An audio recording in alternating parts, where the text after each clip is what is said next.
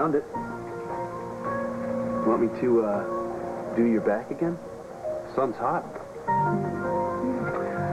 Well, that's how I like most things. Hot. You shouldn't stay out here too much longer. You'll burn.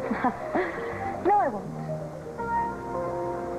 Sound pretty sure of yourself. Oh, I am. Blair Daimler only gets burned once. There'll never be a second time.